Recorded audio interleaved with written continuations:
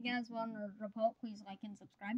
I'm really good at history and geography, so I'm gonna take a how well do you know geography quiz. How many continents are there?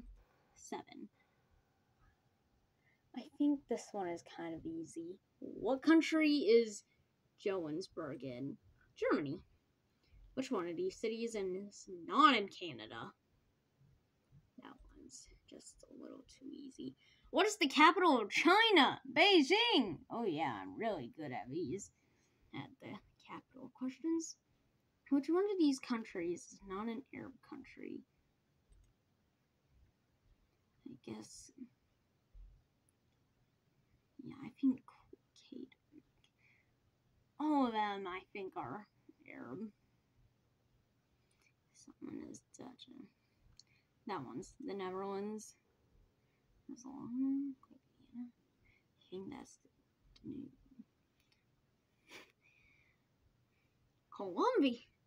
The rest of them are in South America, so Mexico. There's New Zealand. The United States. It's a large island next to Australia. What state in the U.S. would you would you have Niagara Falls? That's New York. What country is the Suez Canal in? Egypt. Is Alaska an island? Nope. Kosovo. Where is Kosovo?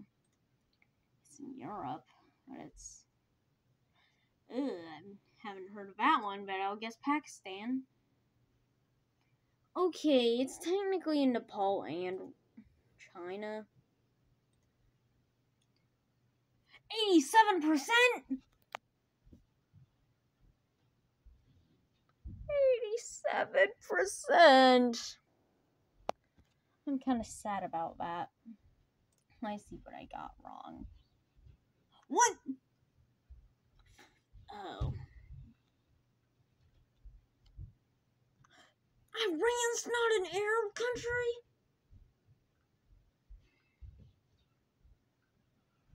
Okay, so I missed two out of 15 questions. I'm happy with my answers, but I feel like I should have remembered Johannesburg was in South Africa, but I thought it was in Germany. And I Iran, I'm pretty sure, is an Arab country. I thought it was an Arab country. That's all for today. Thanks for watching. Bye.